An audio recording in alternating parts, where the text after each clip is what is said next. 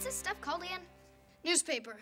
It's how people in the olden days got their news.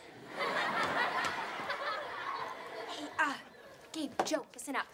So, uh, PJ and I have to leave, but I'll be back in like 15 minutes. That means you're gonna be alone with Charlie. Now, she's taking a nap upstairs, probably won't bother you, but if you have any problems with Charlie, just give me a call myself. What'd she say?